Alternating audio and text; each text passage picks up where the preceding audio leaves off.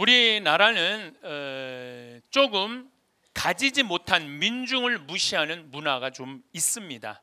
가지지 못한. 근데 이게 하루 아침에 생긴 것이 아니라 조선 500년 내내 민중은 무시를 당했어요. 조선 시대 양반은 10%, 평민은 20%, 노비가 70%예요. 그러니까 전 세계에 자기 민족을 노비로 70%로 쓴 나라는 우리 조선밖에 없어요. 하다못해 일본도 자기네 민족끼리는 서로 사고 팔지 못하게 합니다. 1543년에 포르투갈이 일본에 정착을 하고 총을 하고 무역을 하죠. 이때 포르투갈 사람들이 일본 사람들을 사고 팔아요. 이때 도요토미 히데요시는 정식적으로 항의를 해요. 왜 우리 민족을 사고 파느냐고. 그러니까 사람을 사고 파는 건 이건 가장 저급한 문화예요. 사람을 사고 파는 거를. 그런데 조선 시대 노비들은 우리나라 조선 시대 노비들은 조랑말 두 필값에 사고 팔렸어요. 소하고 조랑말 값 받아도 못 한다는 거예요. 그럼 왜 노비를 소값보다도 못하게 쳤느냐면 논을 갈 때 보면 소가 훨씬 일을 잘한다는 거예요. 그러니까 소만도 못하다는 거예요. 소만도 노비가. 그러니까 조선 시대 보면은 17세기 1600년대 이 비율이 노비가 가장 많았을 때입니다. 그럼 조선 시대 초기를 보면은 평민하고 노비는 성이 없었어요. 그냥 봄에 태어나면 춘삼이 춘월이 3월이 4월이야. 아니면 가을에 태어나면 9월이 10월이에요. 이 성이 어디 있어 성이? 그냥 이름만 있어. 개똥이 아니면은 언년이 아니면 이런 이름을 썼었어요. 근데 1800년 정조 임금이 1800년에 죽어요. 1800년에 정조 임금이 죽고 난 다음에 그 다음에 임금이 순조, 헌종, 철종, 고종이에요. 이 친구들이 몇 살에 왕이 되냐면 7살, 10살, 17살, 18살에 왕이 돼요. 그러니까 아무것도 모르는 애들이 왕이 된 거예요. 아무것도 모르는 애들이 왕이 되니까 누가 휘전느냐면은 안동 김 씨와 풍양 조 씨가 휘졌어요. 마지막에는 민 씨들이 휘졌죠. 예, 민 씨들이 휘졌는데 그러니까 나라 꼴이 엉망이 돼요. 이때 삼정이라는 게 문란이 와요. 삼정이라는 게 뭐냐면 전정이라고 논에서 나는 거 세금 뺏어오는 거. 군정이라고 군대 가면 못 가면은 대신 세금 내는 거. 환곡이라고 보릿고개 때 어, 뭐 먹을 거 없으니까 장리 장리 쌀이라고 그러죠. 장리 이자 막 5할까지 뭐 지금 뭐 저기 무슨 뭐 무슨 그 대출은행에서 뭐 30% 40% 그거보다요 조선 시대는 훨씬 비싼 이자 받고 쌀 내줬어요. 조선 시대는 그러니까 먹고 사는 게 없는 거야. 더욱이 평민들 같은 경우는 양반들은 군대도 안 가고 세금도 안 냈는데 평민이 다 내는 거야. 너무 너무 힘든 거예요. 1850년대부터 이 평민들이 무슨 생각을 하냐면 우리가 족보가 없어서 이 고통을 겪는다. 그래서 이때부터 있는 돈 없는 돈 몰락한 양반들한테 쫓아가고 우리도 좀 니네 족보에 좀 올려줘라. 그래서 천 뭐 실질적으로는 임진왜란부터 족보를 사기 시작을 해요. 근데 본격적으로 산 거는 1850년부터 족보를 사기 시작을 해. 그리고 1909년에 우리나라 천만 명 인구 전체가 성을 가져요. 우리나라가 성 가진 게 1909년에 다 가져요. 그러니까 여러분들 만약에 지금 1600년에 태어났으면 여기 90%는 다 3월이 4월이 9월이 10월이야. 예, 90%는 다 개똥이 아니면은 예. 그런데 귀양 성을 가질 거 왕씨 성으로 가자. 그래서 다 김씨, 이씨, 박씨로 다 족보 뛰어 들어간 거예요. 그래서 우리나라가 김씨가 지금 몇 명이냐면 1,100만 명이에요.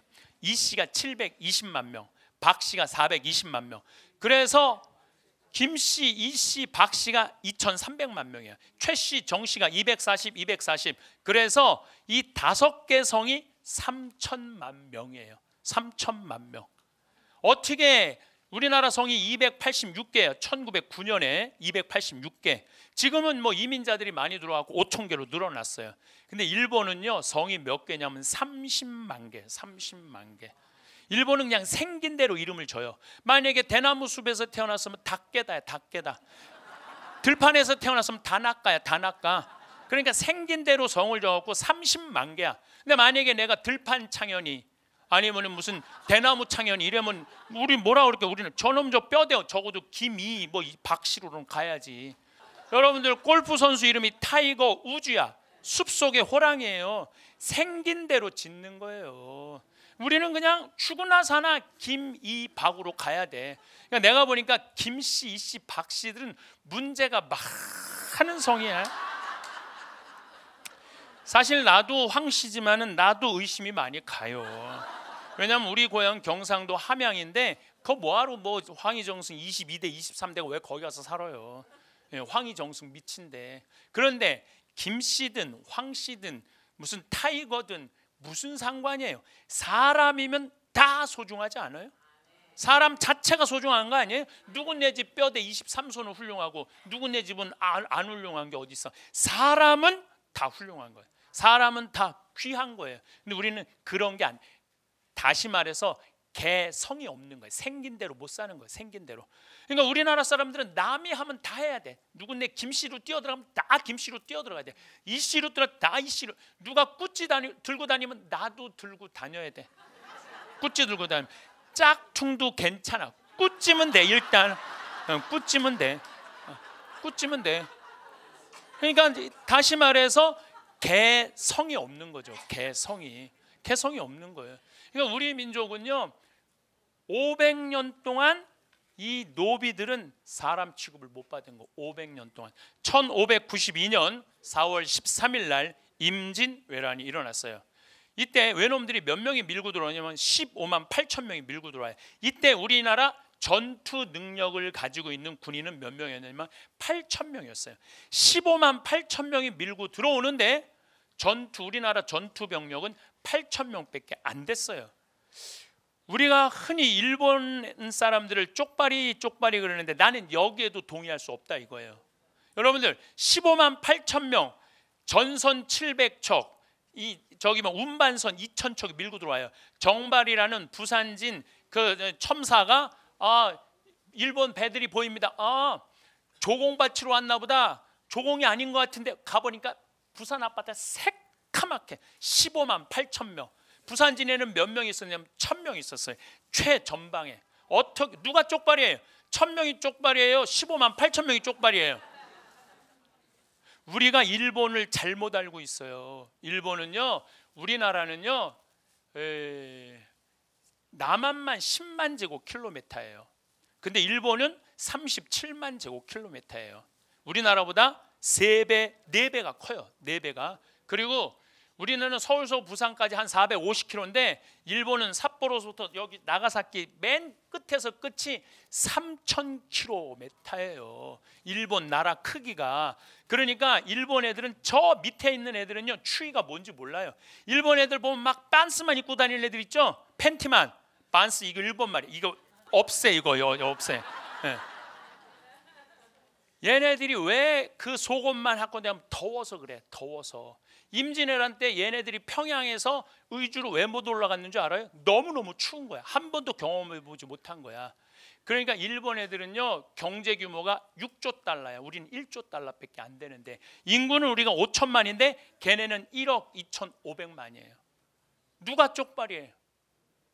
우리가 훨씬 작은 나라예요. 중국은 경제 규모가 14억에 14조에 인구는 13억. 그런데 전 세계에서 일본 놈, 중국 놈 무시하는 건 대한민국 사람밖에 없다니까요. 이게 얼마나 기가 막힌 노릇이에요. 예, 지금은 전 세계 1위는 미국이야. 2위는 중국이고 3위는 일본이에요. 그러니까 전 세계 가장 강대국 사이에 우리가 껴 있는 거예요. 지금 국정교과서 갖고 싸울 때가 아니야 지금. 얼마나 지금 우리 위험한 상황에 와 있는데 저러고 맨날 싸우고 앉아 있는 그러니까 치치라는 거예요. 그러니까 답답하다는 거예요. 우리 지금 현실 상황이 얼마나 냉정한 상황에 놓여 있는데 어쨌든 15만 8천 명이 밀고 들어왔는데 부산진에서 3시간 만에 무너져요. 부산진이 동래성은 다음 날 무너져. 송상현이 무슨 선조가 잘했다고 저라고 자결해 보고 자결해 버려요. 예. 그리고 4월 30일 날 한양에 도착을 해. 그 많은 군인이 4월 30일 전쟁이 없었던 거죠. 전쟁이 있긴 있었죠. 상주 전투, 춘주 충주 전투, 용인 전투 세 가지 전투가 있었는데 거기서 우리나라는 될 게 아니었어요. 상주에는 고니시 육기나가라는 15,000명 육군 주, 최첨단 주력 부대가 몰고 올라오는데 우리는 재승방약이에요. 전투 국가 방어 체계가 이게 굉장히 말이 어려운 것 같은데 무슨 뜻이냐면 니네 동네는 니네가 알아서 지켜라 이거예요. 예. 그러니까 정부에서 뭐만 장군 하나 보내주는 거야. 장군 누구를 보내느냐면 젊은 장군 이 일을 보냈어요. 이 일이 조정에서 외놈들이 왔다고 네가 가서 막아. 몇 명을 줬냐면 300명을 줬어요. 근데 중간에 다 도망가갖고 이 일이 상주에 도착했을 때는 몇 명이 있었는 60명이 있었어요. 쟤네들은 15,000명이 올라오고 있는데. 그러니까 니네 동네는 니네가 막아. 그러니까 막 모내다가 난리가 났대. 뭐 난리가 났어? 어디서 났대? 상주로 모이래. 그래갖고 북천 변이라고 상주 강 낙동강 변 있죠? 거기에 모여요. 800명이 모여요. 15,000명이 있는데 그래 한 놈이 쫓아왔고 어 장군님 이제 지금 외놈이 바로 코앞에 왔습니다 무슨 외놈이 코앞에 가너 안 오면 죽는다. 다음 날인데 안 왔는데 죽였어. 근데 이미 상주성이 뭐 함몰된 거예요. 끝난 거예요. 그 다음에 이제 모이는 데가 대구에서 이제 한 2만 명이 모였어. 난리가 났대. 어디로 모이래? 어, 대구로 모이래. 2만 명이 모였어. 모였는데 정부에서 중앙에서 파견한 장군이 안 내려왔어. 그러니까 뭐라 그래? 난리가 아닌가 봐. 가자. 이게 나라를 지키는 한 나라의 꼴이었어요. 그러니까 15만 8천 명의 8천 명의 군인이 있었다는 것은 백성을 위한 군인이 아니고 임금을 위한 군인이었어요. 그러니까 조선은요 백성을 위한 나라가 아니라 누구를 위한 나라야? 임금을 위한 나라였어요. 사, 충주 탄금대라는 곳에는 이번에 누구를 보내냐면 신립 장군을 보내요. 여진족을 쳐 이기는 명장을 나이 많은 명장을 보내요. 신립이 8천 명을 받아요. 어, 기마병 8천 명을 받아. 근데 보니까 훈련이 하나도 안 돼 있는 거야. 훈련이 하나도 안 돼 있는 걸 가지고 조령이라고 새도 넘기 힘든 조령에서 막으려고 그러니까 다 도망갈 것 같아. 그러니까 어떻게 해요? 탕금대에서 배수진을 쳐요. 도망 못 가게. 그러니까 딱 외놈들이 보니까 또 이틀 동안 비가 왔네. 말 발굽이 다 진흙탕에 빠지는 거야. 뛰지도 오지도 못한 거야. 그러니까 딱 삼열로 쏴서 조총으로 죽이는 거예요. 타켓이 얼마나 좋아? 말에 탔으니. 조총이라는 게 뭐야? 새도 싸 죽인다 그래서 새조자의 총자야. 새조 조총. 그 얼마나 싸 죽이기 좋아요? 8천 명이 다 죽어요. 신립은 한강에 빠져 자결해요. 그러니까 4월 30일 날 한강에 도착을 하는 거야. 그러니까 가만히 선조가 보니까 아 이건 아닌 것 같아. 그래서 임금이라는 게 도망을 가요 도망을 하는데 몇 명을 데리고 도망을 100명을 데리고 도망을 가요 무학제 언덕에 딱 올라서 보니까 이미 얘네들은 건너지도 않았는데 경복궁, 창경궁, 창덕궁이 다 불타는 거야. 누가 불태우느냐면 공노비들이 다 불태우는 거야. 아니 임금이라는 게 우리 거 다 뺏어고 종부리듯 사람 짐승 취급하더니 지켜주지도 않고 임금이 먼저 도망간다고 다 불태운 거야. 그러니까 여기 경복궁이 불타요. 누가 태우느냐면 외놈들이 태우는 게 아니야. 조선 사람들이 태워요. 근데 보니까 제일 먼저 불길이 치솟는 게 뭐냐면 장예원이 제일 먼저 치솟아요. 장예원은 뭐냐면 노비 문서 보관함이야. 그러니까 노비들이 한이 맺힌 거야. 이걸 태워 없으면 우리가 자유다, 면천한다. 제일 먼저 태워 없애요. 그러니까 선조는 개성으로 도망갔다가 평양으로 도망가. 평양에서 백성들이 이렇게 얘기를 합니다. 임금님, 우리는 일당 천입니다. 그러니까 여기서 더 이상 도망가지 말고 여기서 지킵시다. 여러분들 너무 웃기지 않아요? 왜 웃기냐면은 임금이 야 백성들아 여기 지키자 이래야 되는데 백성이 임금님 여기를 지킵시다. 얼마나 웃긴 얘기예요. 보니까 개성에서 2만 명이 또 죽어요. 그러니까 선조는 함경도로 갈 거냐 의주로 도망갈 거냐 고민을 하다가 의주로 도망을 가요. 그 꼴을 보고 백성이 너무 화가 나니까 고니시 육기나가 부대 지나가는 길 담벼락에다가 선조 도망간 데를 화살표를 해줘. 이쪽으로 도망갔다고. 그러니까 가서 잡으라고. 그리고 선조는 계속 뭐라고 그러냐면은 나 내부하겠다 그래. 명나라에 내부하겠다. 내부라는 게 뭐냐면은 귀화하겠다는 거야. 한 나라의 임금이 천만의 천만의 백성을 버리고 귀화하겠다고 대놓고 얘기를 해. 대놓고 참 부끄러운 역사예요. 뭐 우리 지금 역사 잘못 가르친다 그러는데 알 건 알고 넘어가야지. 그리고 의주에서 딱 안 되니까 명나라에 편지를 보내. 그 내가 조선 왕조 실록에서 다 발췌해 놨어요.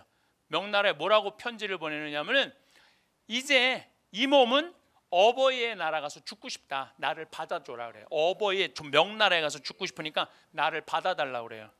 그게 선조야 임금. 예, 이때 선조를 막아 나선 게 누구냐면 유성룡이 막아 나서요. 임금님 만약에 압록강을 건너가면 이씨 왕조는 끝나는 겁니다. 건너가면 안 됩니다. 그러니까 선조가 이렇게 말합니다. 그러면 어떻게 하란 말이냐 이놈아 나보러 그래요. 그러니까 유성룡이 뭐라고 그러냐면 임금님 우리는 노비가 7할이 있습니다. 70%가 노비잖아요. 이 노비들한테 외놈 목 하나 잘라오면은 상을 주고 두 개를 잘라오면 면천을 잘 주고 세 개를 잘라오면은 벼슬을 준다고 선포하십시오. 근데 종묘 사직이 노비들에 의해서 지켜진다는 것을 선조는 받아들일 수가 없었어요. 짐승 같지도 않은 짐승 같지도 않은 것들한테 이 종묘 사직을 지킨다는 걸 받아들일 수가 없었어요. 계속 반포를 안 해요. 안 하다가 턱 밑에까지 고니시가 이제 항복하라고 그러니까 그때서 반포를 해요. 노 왜놈 목 두 개 잘라온다니까 면천 시켜준다니까 노비들이 뭐라고? 안 그래도 외놈들한테 감정이 안 드는 목 두 개만 자르면 면천을 시켜준다고 다 누구 밑으로 들어가냐면 이순신 밑으로 다 들어가요. 예, 갑밭이 뭐 이게 가죽하는 갑밭이 그다음 백정들 이런 사람들 다 이순신 밑으로 들어가.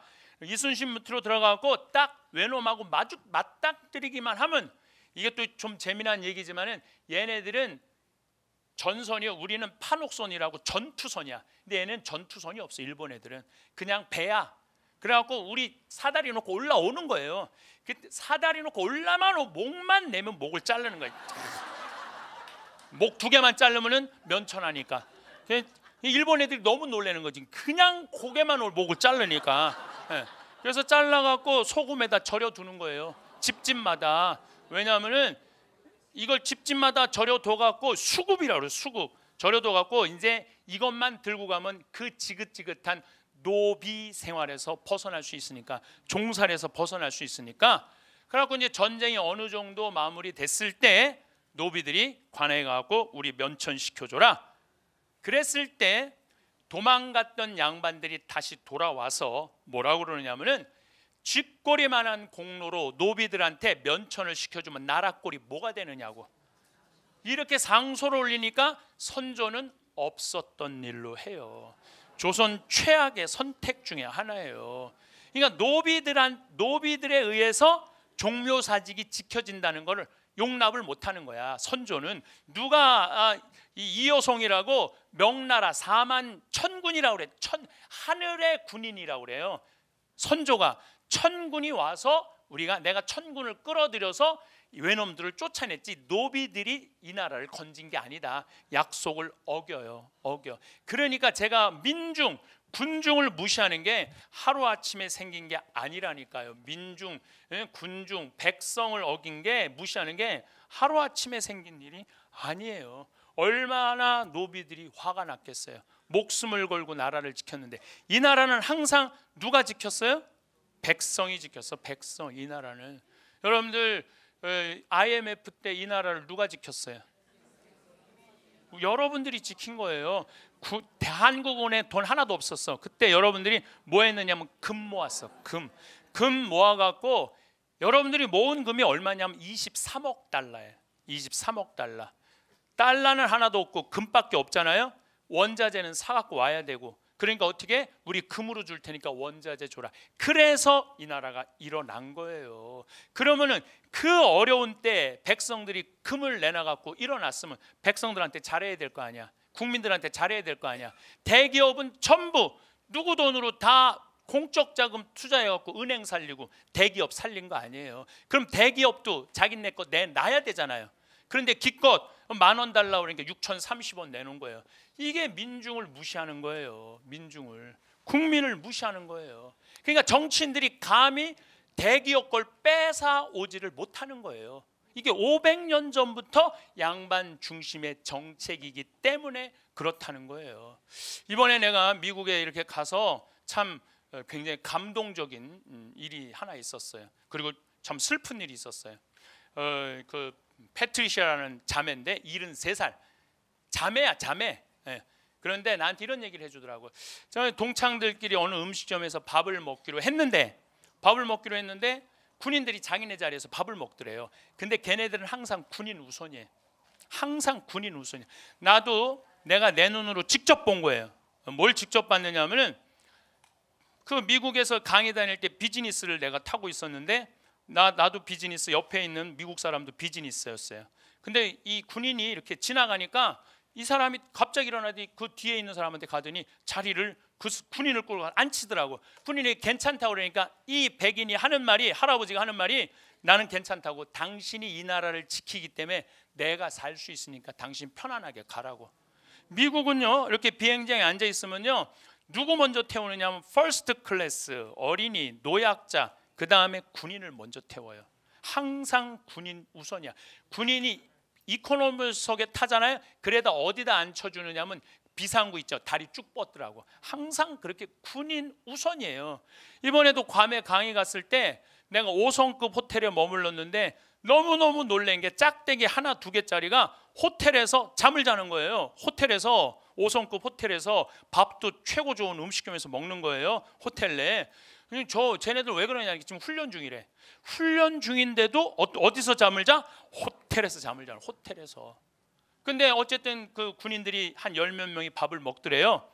그래서 이제 자리를 비켜주고 있는데 자기네들이 구, 젊은 군인 아이들이 밥값을 계산하려고 그럴 때 이 패트리샤가 가서 내가 값 계산했다고 니네들 계산하지 말라고 그랬더니 왜 계산을 했느냐고 군인이 물어보길래 니네 미군들이 6.25 전쟁 때 우리나라 와고 우리나라를 지켜줘서 내가 이렇게 내 자식이 미국에 와고 의사도 되고 행복하게 살아서 내가 고마워서 내가 돈을 내준다. 예. 그러니까 얘네들 12명 와서 인사를 탁 하고 가더래요. 근데 내가 그러고 한국에 왔는데 한국에서 쥐레해갖고 발목 잘린 군인 있잖아요. 아직도 치료비를 제대로 못 받았다는 거야. 나라를 위해서 이게 왜 임진왜란 때부터 이런 일이 벌어졌던 거예요. 그래서 내가 그 얘기를 듣고 야 나도 군인들이 이 나라를 지켜서 나도 지금 이렇게 혜택을 받고 있구나. 그래서 내가 결심한 게 있어요. 앞으로 내가 혹시 어느 음식점에서 군인이 밥을 먹으면 내가 쫓아가고 너 음식값 내지 마. 내가 내줄게. 내가 근데 저만 그래야 되는 게 아니라 여러분들도 그러셔야 돼요. 여러분들도 나라를 지키는 군인을 무시하면 안 되는 거예요. 근데 선조는 최악의 선택을 한 거예요. 최악의 선택을 한 거예요. 임진왜란 때 우리나라가 400년 전에 이미 외놈들한테 나라를 뺏길 뻔했는데 누구 때문에 안 뺏겼냐면 이순신 때문에 안 뺏겼어요. 4월 13일 날 외놈들이 쳐들어왔을 때 조선에서 유일하게 4월 12일 날 전라 좌수사인 이순신이 뭐라고 그러느냐면은 수군들을 훈련을 엄청나게 시켜요. 조선 시대에는 우리나라 수군은 세계 최강이었어요. 수군 이 외놈들은 대포가 없었는데 우리는 대포가 있었어요. 훈련을 정말로 고되게 시키고 난 다음에 4월 12일 날 이순신이 수군들한테 이렇게 말합니다. 오늘로써 훈련은 끝이다. 너희들은 앞으로 어떤 음, 음, 나라 이, 저기 뭐야 군인하고 맞닥뜨려도 이길 수 있다. 이게 4월 10일 12일이야. 하늘이 보낸 거죠. 그래갖고 조선 시대 어떻게 여러분들 여기 지금 의주까지 도망갔단 말이야. 어떻게 먹느냐면 얘네들이 이렇게까지 다 먹어요. 여기만 전라도만 못 먹어. 전라도만 누구 때문에 못 먹느냐면은 진주 대첩이라고 김시민 장군 아시죠? 곽재우 의병 이게 진주 대첩에서 이놈들을 막어요. 외놈들을. 근데 바다는 누가 막느냐면 이순신 장군이 막어요. 안 그랬으면 이미 선조는 끝나요. 그런데 이 임진왜란 끝났을 때 선조는 104명의 공신들을 해요. 그런데 장수들은 18명을 주고 86명은 전부 자기 따라간 호송 군인들한테 전부 상을 다 줘요. 그리고 의병들은 다 잡아 죽여요. 음, 저놈들 반란 일으킬 놈들이라고. 그러니까 이게 공과가 이러니 나라가 질서가 서요. 그렇게 해서 임진왜란이 끝났어요. 1636년 임진왜란 끝나고 37년 만에 벌어진 게 뭐냐면 병자호란이에요. 1636년 12월 8일 날 병자호란이 일어나요. 12월 9일 날 병자호란이 날 이날 청 14만 명이 밀고 내려와 청군 14만 명이. 이때 우리나라 군인은 몇 명이냐면 8천 명이야 8천 명. 아니 그렇게 임진왜란 동안 7년 어, 동안 그 백성들이 괴로웠으면 국방을 튼튼히 해야 되잖아요. 그럼 37년 동안 조선 왕조는 뭐 했느냐? 선조 광해군 인조 셋이서 뭐 했느냐면 네가 왕이 될 거냐? 내가 왕이 될 거냐? 싸운 거예요. 선조는 강해군은 후궁의 아들이야. 쉽게 말하면 본초의 아들이 아니야. 후궁의 아들인데 임진왜란 때 광해군이 의병들을 다 일으켰거든요. 그러니까 선조보다 누가 인기가 있었냐면 광해가 더 인기가 있었어요. 그러니까 광해가 미웠던 거야. 광해가 와서 전쟁 끝나고 문안 인사 오면 이놈의 새끼 너 명나라에서 세자 책봉도 하는데 뭐하러 나로 인사 왔느냐고. 자기보다 인기가 높으니까. 그런데 선조가 늙음하게 장가를 갔는데 애를 하나 낳네. 임목 대비가 영창 대군이라고 이거를 왕을로 만들고 싶은 거야. 그러니까 이걸 왕으로 만들 거냐 저걸 왕으로 만들 거냐 이건 거예요. 그래서 1608년에 근데 인 선조가 갑자기 죽어버려요. 죽으면서 어쩔 수 없이 광해가 왕이 될 것 같으니까 불러갖고 이렇게 말해요. 동생 영창을 죽이지 말아라. 네 애미 예, 이 임목 대비는 20살이고 광해는 30살이었어요. 그러니까 얼마나 어린 저기 뭐야 부인을 얻은 거예요. 네 애미를 폐비시키지 말아라. 이랬거든요. 근데 선조 죽자마자 엄마 폐비 폐비시켜 임목 대비. 그리고 영창은 강화도로 보내 갖고 예, 문 걸어 잠그고 쪄서 죽여 쪄서 동생을. 그러니까 이게 폐 여기다 폐륜하다 그래서 반정이 일어나는 게 인조 반정이에요. 이때 이괄이라는 장수가 제일 먼저 앞장 하도 괄괄해 갖고 이름도 이괄이야. 예, 예. 제일 앞장서 갖고 어, 이, 이 광해를 내쫓아요.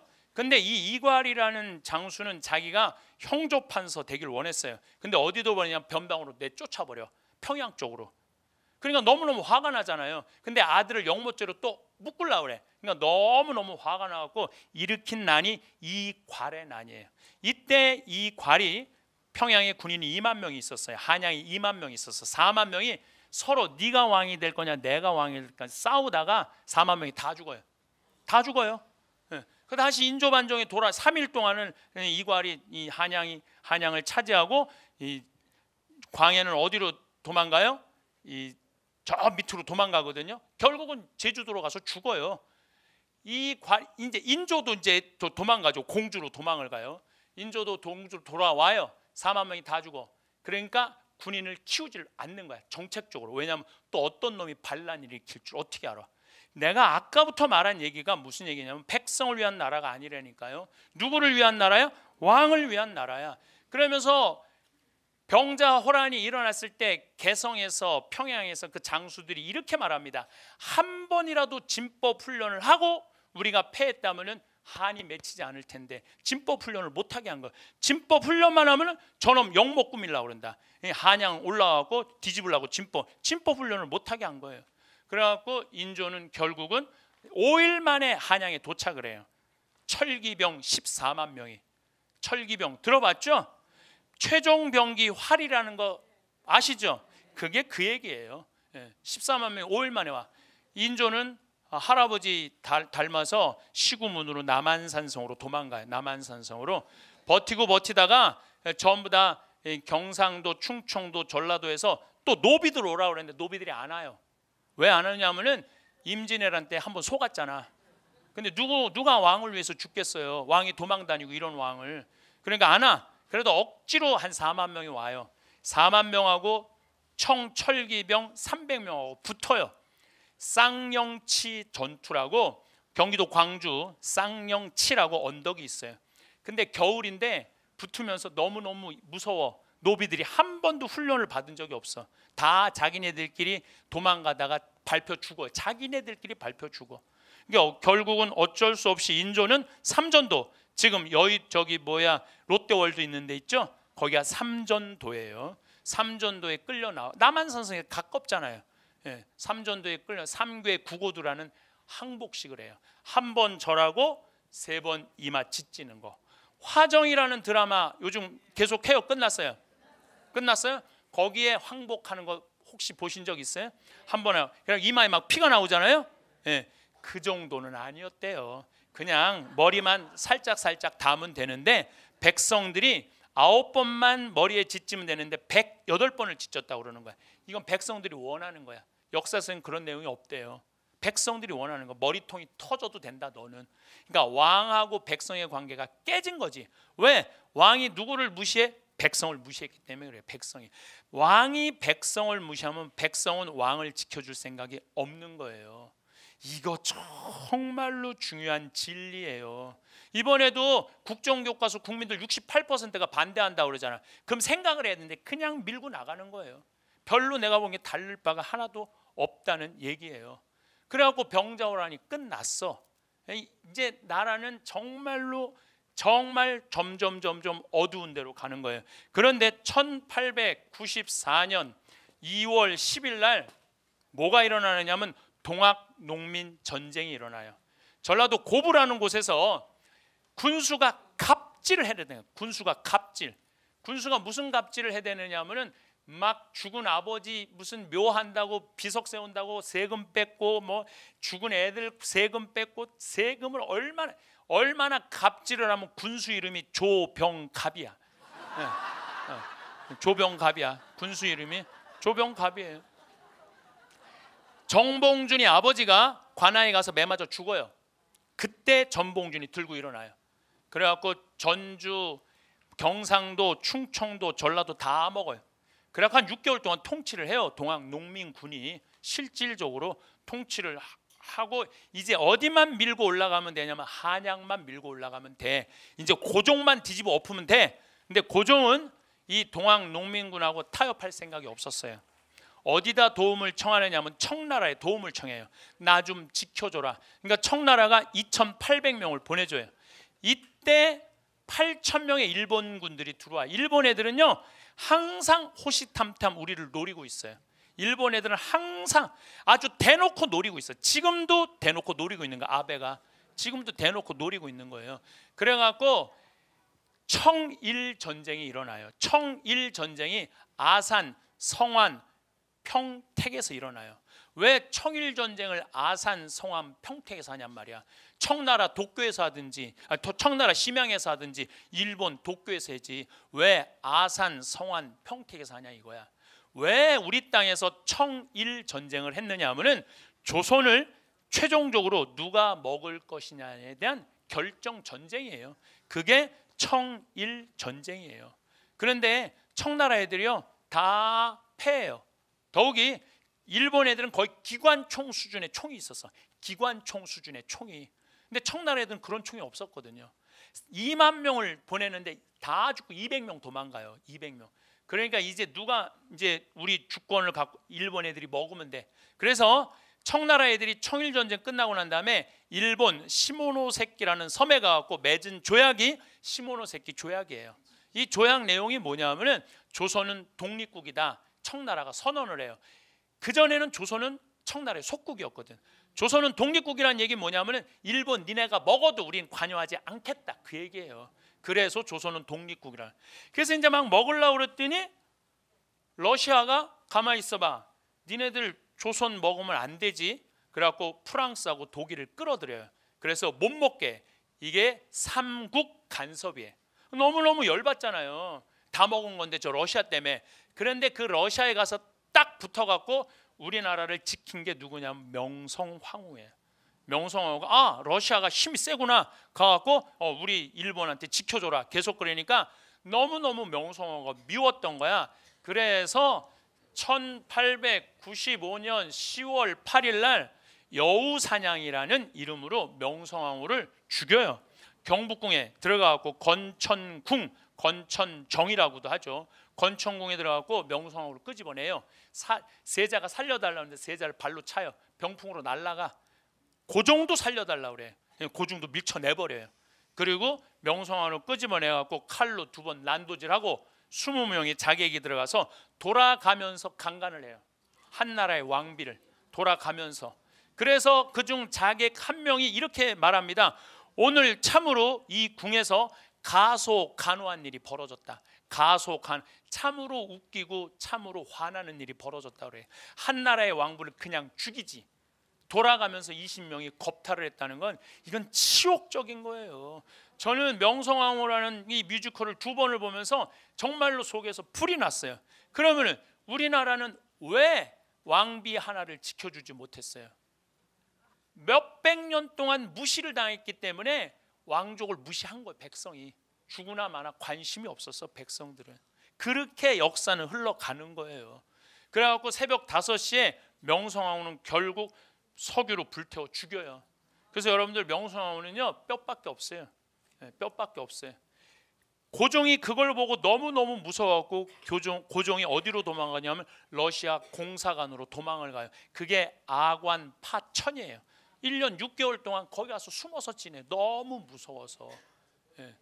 이제 다 먹을 거를 명성황후가 막은 거니까 명성황후 죽은 거죠. 그리고 1904년, 1905년 러일 전쟁이 일어나요. 러일 전쟁은 만주 땅하고 우리나라 땅을 러시아가 먹을 거냐, 일본이 먹을 거냐 전쟁을 치르는데요. 이때 일본은 지금 엄청난 화력을 갖고 있었어요. 배, 함, 이 여산이라는 곳에 전쟁을 하는데 정말 러시아 애들 7만 명, 일본 애들 4만 명이 붙는데 러시아가 그야말로 박살이 나요. 다 도망가. 그래서 어쩔 수 없이 러시아가 뭐라고 하냐면 너희들 가져라. 이때 아주 중요한 얘기를 제가 하고 싶어요. 이때 미국이 사실은 우리 조약을 맺어갖고 우리를 보호해 주겠다고 그랬거든요. 근데 러일 전쟁 끝나고 난 다음에 미국이 일본한테 뭐라고 하냐? 니네들 조선 먹는 거 눈 감아 줄게. 눈 감아 줄게. 니네 니네들은 미국은 누구를 눈 감아줘? 필리핀 먹는 거 눈 감아줘. 일본 니네는. 그래서 서로 조약을 맺어 갖고 1905년에 우리가 을사늑약으로 나라를 뺏기는 거예요. 그때나 지금이나 다를 게 뭐가 있어? 여러분들 지금 이 일본 애들 아베가 지금 이제 다른 나라 파견하겠다고 그랬죠? 그 지지해 주는 나라가 누구예요? 미국이에요. 미국. 예. 그리고 북한 진입하는 거 우리 진입할 수 있다. 아니 청일 전쟁이나 러일 전쟁 때 탈릴 게 뭐가 있어? 똑같아요. 다시 말해서 이 나라를 지킬 수 있는 건 누구밖에 없어? 우리밖에 없는 거야. 그러면 이 나라를 지킬 수는 우리밖에 없으면 누가 누구를 존중해 줘야 되냐면 정치인들이 백성을 존중해 주고 백성은 정치인들을 지켜줘야 돼. 그래야지 나라가 되는 거예요. 근데 지금도 무시하잖아. 1905년부터 1910년 사이에 그러면은 뭔가 일어나야 될 거 아니에요. 독립운동이 일어났는데 사실 여러분들 독립운동은요 1920년부터 일어나요. 1905년에서 10년 사이 종, 독립운동이 일어나질 않아요. 일어나긴 일어났지. 경기도 용인에서 이익삼이라는 의병장이 나라를 건지자 따라 나서라. 몇 명이 따라 나서냐면 15명이 따라 나서요. 나라 건진다고. 예. 그리고 이 전라도에서는 의병이 일어났는데 103명이 일어났는데 외놈들이 몇 명의 군인을 보내냐면 2천 명을 보내. 그래갖고 103명을 싹 쓸어 없애버려요. 그러니까 아예 이게 나라를 구할 생각이 전혀 없었어. 여기는 환경적 요인도 있어요. 환경적 요인이라는 건 뭐냐면은 1905년에서 1910년 사이에 한 번도 본 적이 없는 가뭄이 와요. 한 번도 본 적이 없는 가뭄. 가뭄이 오니까 백성들이 먹을 게 하나도 없으니까 무슨 왕이 죽고 왕비가 죽고 나라가 뺏기고 안 뺏기고 하나도 관심이 없었어요. 나 지금 먹고 살기도 힘들어 죽겠는데 뭘 한다 이거예요. 그럼 1905년에서부터 1910년 동안 500년 동안 이 나라를 마음껏 누리고 살았던 양반들은 뭐 했느냐? 양반들은 다 뭐 했느냐면 전부 다 땅 팔고 논 팔아 갖고 동경으로 다 유학 갔어요. 다 동경으로 유학 갔어요. 여러분들 일제 그 삼식 강점기 때 일본으로 유학 간 사람들이 평민이 갔어요? 노비가 갔어요? 누가 갔어요? 양반들이 갔어요. 500년 동안 모든 걸 누리고 살았던 양반들이 간 거야. 가갖고 공부하고 돌아와서 일제 36년 동안 매달려서 어, 거기서 일본 애들하고 나라 나눠 먹고 빌붙어서 친일하고 그리고 해방이 딱 됐어요. 해방이 됐을 때 전부 일본 놈들 다 도망갔어요. 우리나라도 아무도 출근 안 했어. 예, 출근하지 않았어요. 나라가 망했는데 어떤 놈이 어떤 양반이 출근을 해요. 일본 정부에 다 붙은 판검사들, 경찰들 예, 딱 항복했는데 양반들이 어, 내일 내가 나 출근해 갖고 일해야 되겠다. 출근한 사람 어디서 한 명도 출근 안 했어요. 그런데 미 군정이 딱 들어오더니 다 출근해 괜찮아. 니네들 데리고 내가 할게. 어? 어 우리 다 잡아 죽여야 되는데 독일은 어떻게 했어요? 전쟁 일으킨 사람들 아우슈피, 아우슈비치 지금까지 잡아 죽이잖아요. 그런데 어, 안 묻는데 36년 동안 나라 배반하고 일본한테 붙어 살았는데 아 묻지 않는데 어 와서 저기 뭐야 출근하래. 거기서 출근해 갖고 다시 주저앉은 거야. 다시 말해서 500년 동안 조선을 백성들을 아주 착취하고 고통으로 몰아넣었던 사람들이 일제 36년도 그대로 다 누리고 살았다가 전쟁 끝나 이 독립하고도 그대로 누리고 사는 거야. 그리고 그 일제를 청산하지 못한 그게 지금까지 그대로 와 있는 거예요. 제가 왜 이런 얘기를 장황하게 하느냐 하면은 정치인들이 백성을 무서워해야 돼요. 정치인들이 백성을 무서워해야 돼. 내가 잘못한 게 있으면은 정치인들이 발을 붙이기 못하게 해야 돼. 근데 우리나라 정치인들은 백성을 무서워하지 않아요. 왜? 백성들이 눈 감아 주는 거예요. 누가 하도 눌려고 살아갖고 까먹어. 그럴 수 있지. 그나물에 그 밥이 지금 하고 있는데도.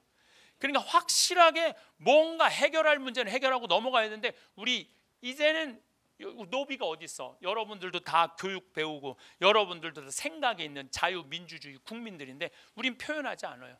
뭐가 자유인지도 모르고 뭐가 인권인지도 모르고 뭐가 정인지도 모르고 그냥 그냥 돈 돈에 그냥 돈만 있으면 돼. 경제만 누가 누군가 살리면 돼. 이명박 대통령이 여러분들 정권 하는 동안 백성을 위한 정치를 했어요. 대기업을 위한 정치를 했어요.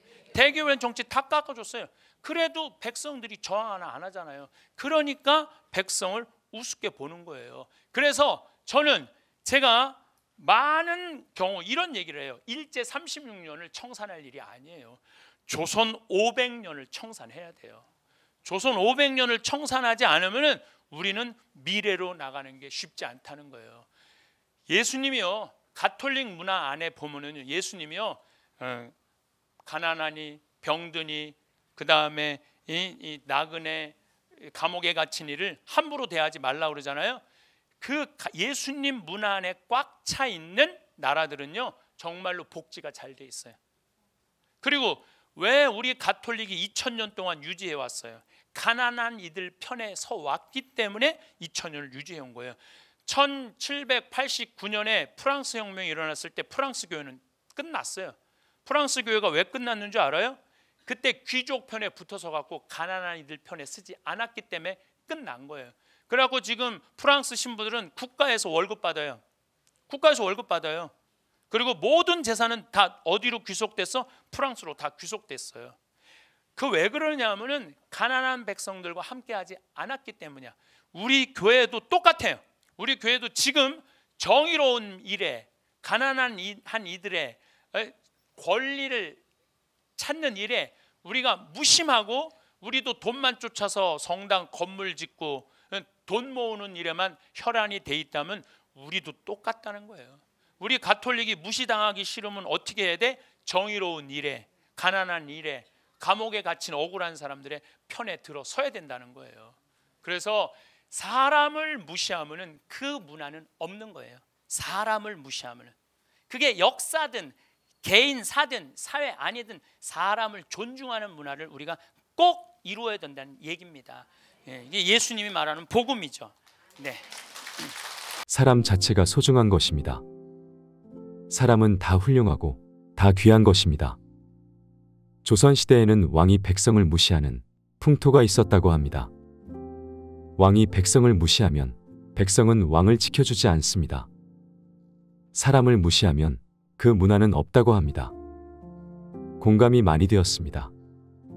사람을 무시하는 문화는 버리고 존중해주는 문화가 되어야 한다고 생각했습니다. 오늘은 황신부님의 역사적 이야기를 듣고 또 배우게 되었습니다. 시청해 주셔서 감사합니다. 우리나라는 어, 조금 가지지 못한 민중을 무시하는 문화가 좀 있습니다. 가지지 못한. 근데 이게 하루 아침에 생긴 것이 아니라 조선 500년 내내 민중은 무시를 당했어요. 조선 시대 양반은 10%, 평민은 20%, 노비가 70%예요. 그러니까 전 세계에 자기 민족을 노비로 70%로 쓴 나라는 우리 조선밖에 없어요. 하다못해 일본도 자기네 민족끼리는 서로 사고 팔지 못하게 합니다. 1543년에 포르투갈이 일본에 예, 정착을 하고 총을 하고 무역을 하죠. 이때 포르투갈 사람들이 일본 사람들을 사고 팔아요. 이때 도요토미 히데요시는 정식적으로 항의를 해요. 왜 우리 민족을 사고 파느냐고. 그러니까 사람을 사고 파는 건 이건 가장 저급한 문화예요. 사람을 사고 파는 거를. 그런데 조선 시대 노비들은 우리나라 조선 시대 노비들은 조랑말 두 필값에 사고 팔렸어요. 소하고 조랑말 값 받아도 못 한다는 거예요. 그럼 왜 노비를 소값보다도 못하게 쳤느냐면 논을 갈 때 보면 소가 훨씬 일을 잘한다는 거예요. 그러니까 소만도 못하다는 거예요. 소만도 노비가. 그러니까 조선 시대 보면은 17세기 1600년대 이 비율이 노비가 가장 많았을 때입니다. 그럼 조선 시대 초기를 보면은 평민하고 노비는 성이 없었어요. 그냥 봄에 태어나면 춘삼이 춘월이 3월이 4월이야. 아니면 가을에 태어나면 9월이 10월이에요. 이 성이 어디 있어 성이? 그냥 이름만 있어. 개똥이 아니면은 언년이 아니면 이런 이름을 썼었어요. 근데 1800년 정조 임금이 1800년에 죽어요. 1800년에 정조 임금이 죽고 난 다음에 그 다음에 임금이 순조, 헌종, 철종, 고종이에요. 이 친구들이 몇 살에 왕이 되냐면 7살, 10살, 17살, 18살에 왕이 돼요. 그러니까 아무것도 모르는 애들이 왕이 된 거예요. 아무것도 모르는 애들이 왕이 되니까 누가 휘전여느냐면은 안동 김 씨와 풍양 조 씨가 휘졌어요. 마지막에는 민 씨들이 휘졌죠. 예, 민 씨들이 휘졌는데 그러니까 나라 꼴이 엉망이 돼요. 이때 삼정이라는 게 문란이 와요. 삼정이라는 게 뭐냐면 전정이라고 논에서 나는 거 세금 뺏어 오는 거. 군정이라고 군대 가면 못 가면은 대신 세금 내는 거. 환곡이라고 보릿고개 때 어 뭐 먹을 거 없으니까 장리 장리 쌀이라고 그러죠. 장리 이자 막 5할까지 뭐 지금 뭐 저기 무슨 뭐 무슨 그 대출은행에서 뭐 30% 40% 그거보다요 조선 시대는 훨씬 비싼 이자 받고 쌀 내줬어요. 조선 시대는 그러니까 먹고 사는 게 없는 거야. 더욱이 평민들 같은 경우는 양반들은 군대도 안 가고 세금도 안 냈는데 평민이 다 내는 거야. 너무 너무 힘든 거예요. 1850년대부터 이 평민들이 무슨 생각을 하냐면 우리가 족보가 없어서 이 고통을 겪는다. 그래서 이때부터 있는 돈 없는 돈 몰락한 양반들한테 쫓아가고 우리도 좀 니네 족보에 좀 올려줘라. 그래서 천 뭐 실질적으로는 임진왜란부터 족보를 사기 시작을 해요. 근데 본격적으로 산 거는 1850년부터 족보를 사기 시작을 해. 그리고 1909년에 우리나라 천만 명 인구 전체가 성을 가져요. 우리나라가 성 가진 게 1909년에 다 가져요. 그러니까 여러분들 만약에 지금 1600년에 태어났으면 여기 90%는 다 3월이 4월이 9월이 10월이야. 예, 90%는 다 개똥이 아니면은 예.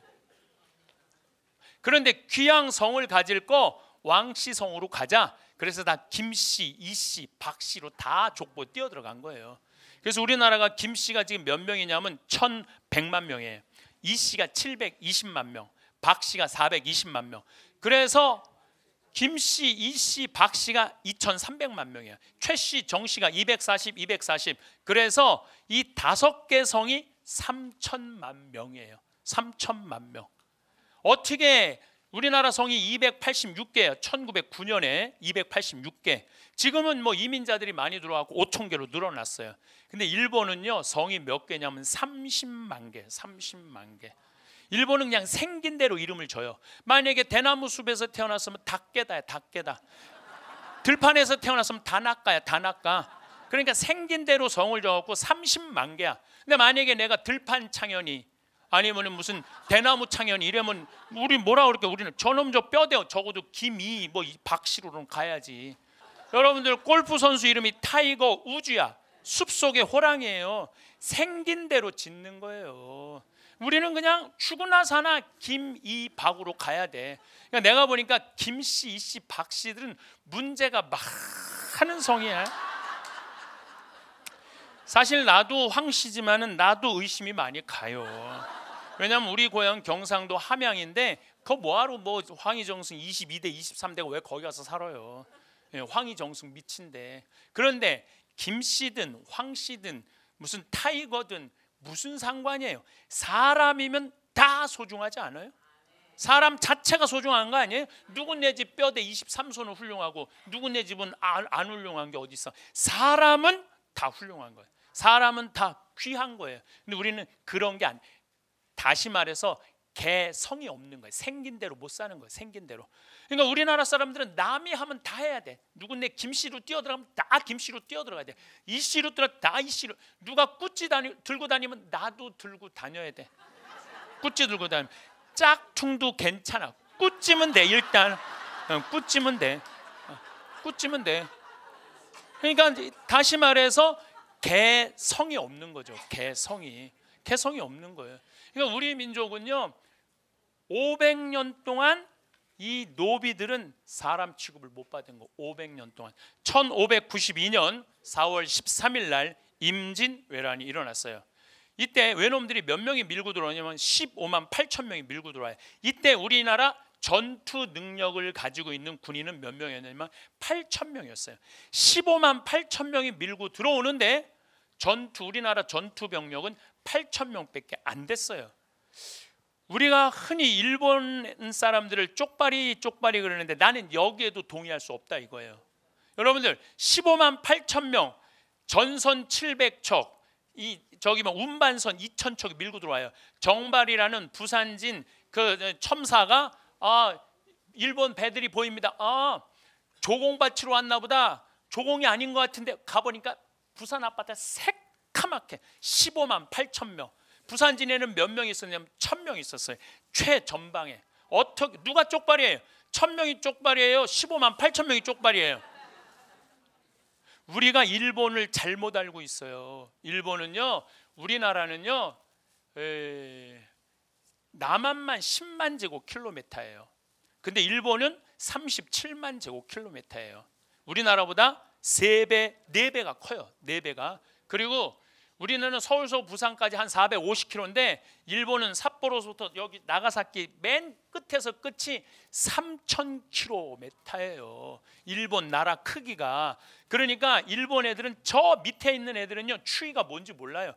일본 애들 보면 막 반스만 입고 다니는 애들 있죠. 팬티만 반스 이거 일본 말이 이거 없애 이거요 없애. 네. 얘네들이 왜그 갖고 내면 더워서 그래 더워서. 임진왜란 때 얘네들이 평양에서 의주로 왜 못 올라갔는 줄 알아요? 너무너무 추운 거야. 한 번도 경험해 보지 못한 거야. 그러니까 일본 애들은요 경제 규모가 6조 달러야. 우리는 1조 달러밖에 안 되는데. 인구는 우리가 5천만인데 걔네는 1억 2,500만이에요. 누가 쪽발이에요? 우리가 훨씬 작은 나라예요 중국은 경제 규모가 14억에 14조에 인구는 13억. 그런데 전 세계에서 일본 놈, 중국 놈 무시하는 건 대한민국 사람밖에 없다니까요. 이게 얼마나 기가 막힌 노릇이에요. 예, 지금은 전 세계 1위는 미국이야. 2위는 중국이고 3위는 일본이에요. 그러니까 전 세계 가장 강대국 사이에 우리가 껴 있는 거예요. 지금 국정 교과서 갖고 싸울 때가 아니야 지금. 얼마나 지금 우리 위험한 상황에 와 있는데 저러고 맨날 싸우고 앉아 있는 그러니까 치치치라는 거예요. 그러니까 답답하다는 거예요. 우리 지금 현실 상황이 얼마나 냉정한 상황에 놓여 있는데 어쨌든 15만 8천 명이 밀고 들어왔는데 부산진에서 3시간 만에 무너져요. 부산진이 동래성은 다음 날 무너져. 송상현이 무슨 선조가 잘했다고 저라고 자결해 보고 자결해 버려요. 예. 그리고 4월 30일 날 한양에 도착을 해. 그 많은 군인이 4월 30일 전쟁이 없었던 거죠. 전쟁이 있긴 있었죠. 상주 전투, 춘주 충주 전투, 용인 전투 세 가지 전투가 있었는데 거기서 우리나라는 될 게 아니었어요. 상주에는 고니시 육기 나가라는 15,000명 육군 주, 최첨단 주력 부대가 몰고 올라오는데 우리는 재승 방약이에요. 전투 음, 국가 방어 체계가 이게 굉장히 말이 어려운 것 같은데 무슨 뜻이냐면 니네 동네는 니네가 알아서 지켜라 이거예요. 예. 그러니까 정부에서 뭐만 장군 하나 보내주는 거야. 장군 누구를 보내느냐면 젊은 장군 이 일을 보냈어요. 이 일이 조정에서 외놈들이 왔다고 네가 가서 막아. 몇 명을 줬냐면 300명을 줬어요. 근데 중간에 다 도망가갖고 이 일이 상주에 도착했을 때는 몇 명이 있었는 60명이 있었어요. 쟤네들은 15,000명이 올라오고 있는데 그러니까 니네 동네는 니네가 막아 그러니까 막 모내다가 난리가 났대. 뭐 난리가 났어? 어디서 났대? 상주로 모이래. 그래갖고 북천 변이라고 상주 강 낙동강 변 있죠. 거기에 모여요. 800명이 모여요.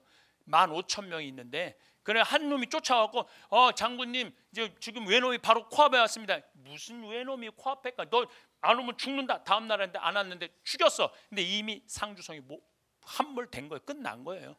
그 다음에 이제 모이는 데가 대구에서 이제 한 2만 명이 모였어. 난리가 났대. 어디로 모이래? 어, 대구로 모이래. 2만 명이 모였어. 모였는데 정부에서 중앙에서 파견한 장군이 안 내려왔어. 그러니까 뭐라 그래? 난리가 아닌가 봐. 가자. 이게 나라를 지키는 한 나라의 꼴이었어요. 그러니까 15만 8천 명의 8천 명의 군인이 있었다는 것은 백성을 위한 군인이 아니고 임금을 위한 군인이었어요. 그러니까 조선은요 백성을 위한 나라가 아니라 누구를 위한 나라야? 임금을 위한 나라였어요. 사, 충주 탄금대라는 곳에는 이번에 누구를 보내냐면 신립 장군을 보내요. 여진족을 쳐 이기는 명장을 나이 많은 명장을 보내요. 신립이 8천 명을 받아요. 어, 기마병 8천 명을 받아. 근데 보니까 훈련이 하나도 안 돼 있는 거야.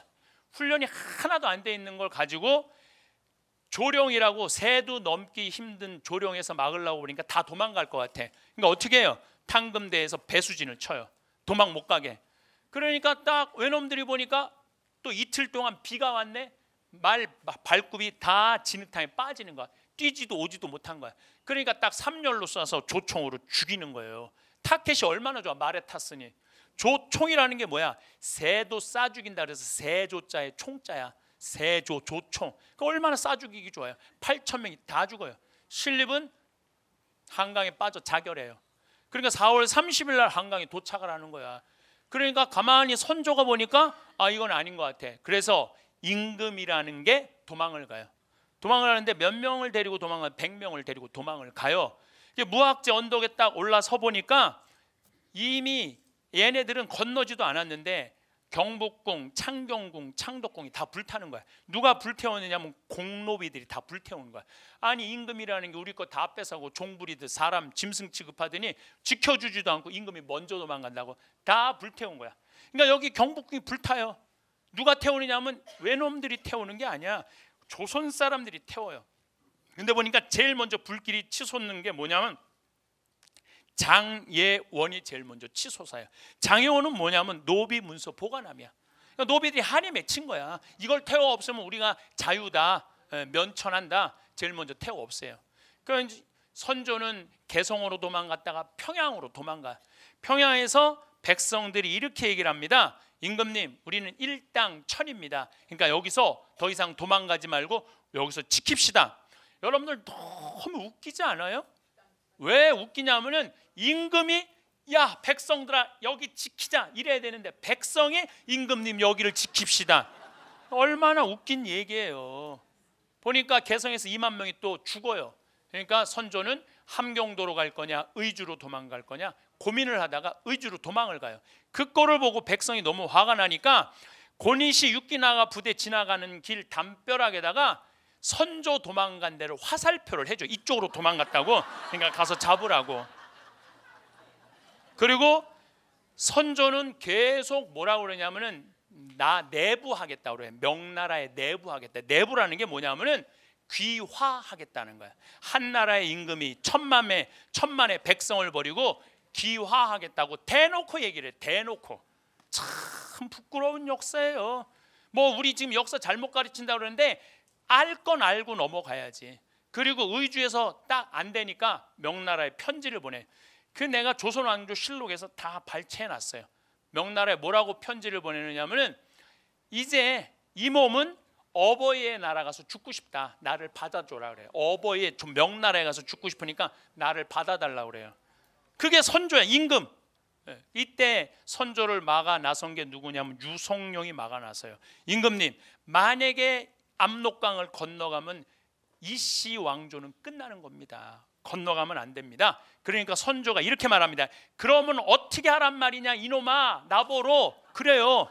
그러니까 유성룡이 뭐라고 그러냐면 임금님 우리는 노비가 7할이 있습니다. 70%가 노비잖아요. 이 노비들한테 외놈 목 하나 잘라오면은 상을 주고 두 개를 잘라오면 면천을 잘 주고 세 개를 잘라오면은 벼슬을 준다고 선포하십시오. 근데 종묘 사직이 노비들에 의해서 지켜진다는 것을 선조는 받아들일 수가 없었어요. 짐승 같지도 않은 짐승 같지도 않은 것들한테 이 종묘 사직을 지킨다는 걸 받아들일 수가 없었어요. 계속 반포를 안 해요. 안 하다가 턱 밑에까지 고니시가 이제 항복하라고 그러니까 그때서 반포를 해요.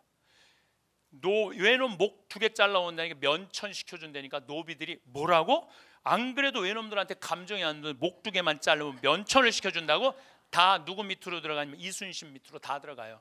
예, 갑밭이 뭐 이게 가죽하는 갑밭이 그다음 백정들 이런 사람들 다 이순신 밑으로 들어가. 이순신 밑으로 들어가고 딱 외놈하고 마주 맞닥뜨리기만 하면 이게 또 좀 재미난 얘기지만은 얘네들은 전선이요. 우리는 판옥선이라고 전투선이야. 근데 얘는 전투선이 없어. 일본 애들은 그냥 배야. 그래갖고 우리 사다리 놓고 올라오는 거예요. 그 사다리 놓고 올라만 목만 내면 목을 자르는 거예요. 목 두 개만 자르면은 면천하니까. 그 일본 애들이 너무 놀라는 거지. 그냥 고개만 목을 자르니까. 예.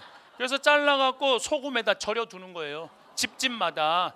왜냐하면은 이걸 집집마다 절여둬 갖고 수급이라 그래요. 수급. 절여둬 갖고 이제 이것만 들고 가면 그 지긋지긋한 노비 생활에서 벗어날 수 있으니까 종살에서 벗어날 수 있으니까 그래갖고 이제 전쟁이 어느 정도 마무리됐을 때 노비들이 관에 가고 우리 면천 시켜줘라.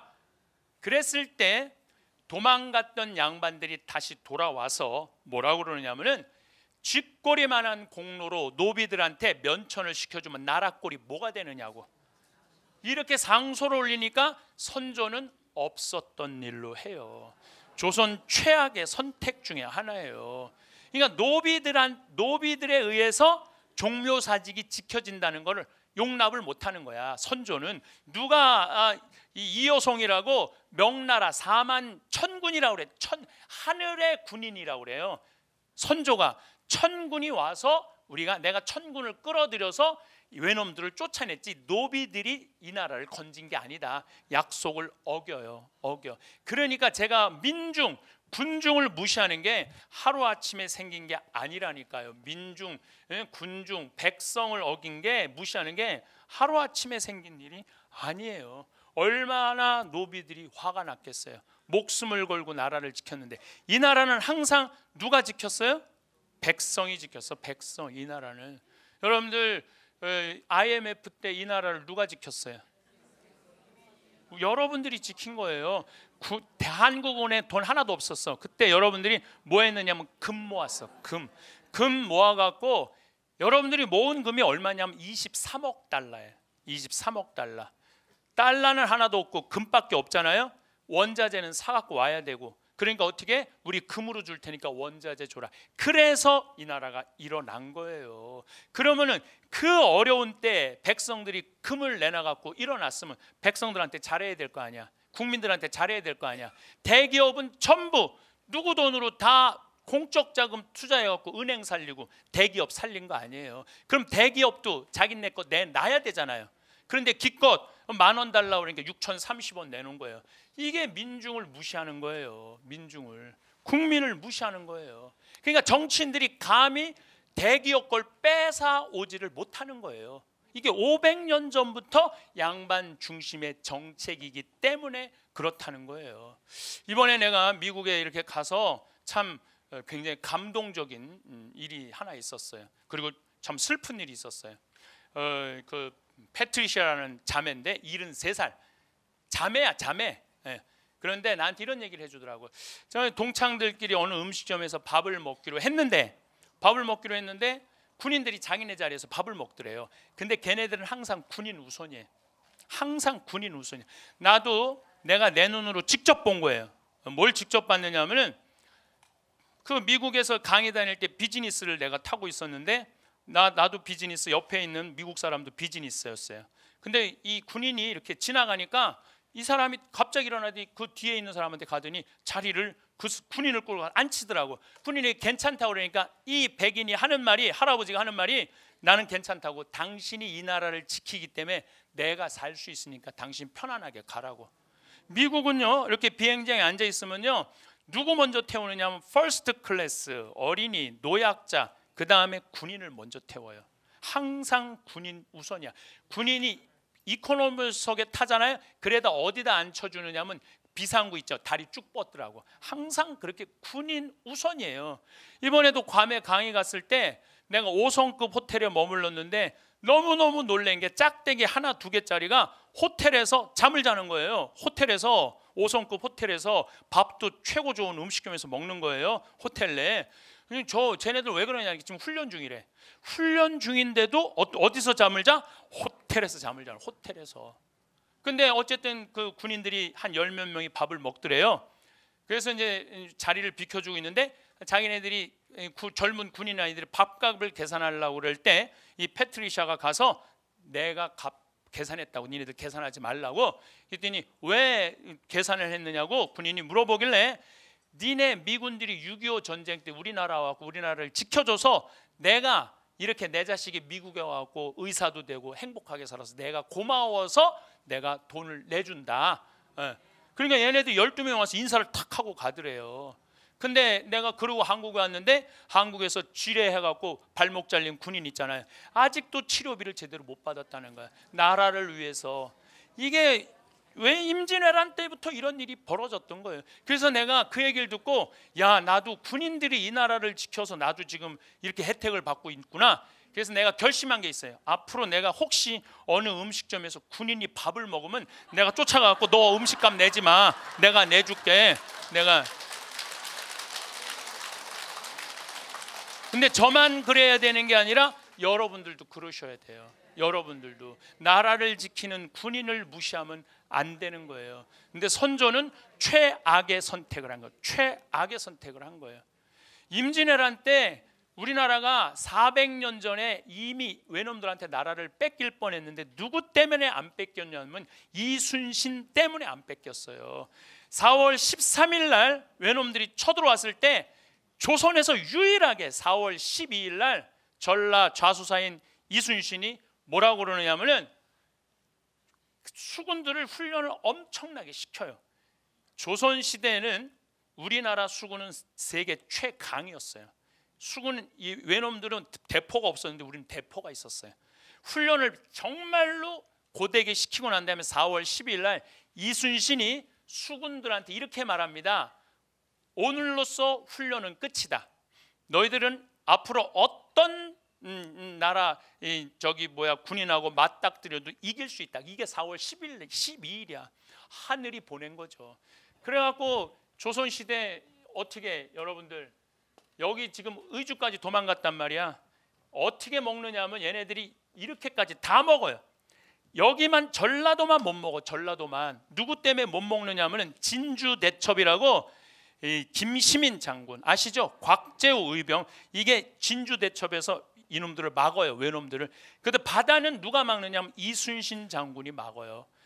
안 그랬으면 이미 선조는 끝나요. 그런데 육- 이 임진왜란 끝났을 때 선조는 104명의 공신들을 해요.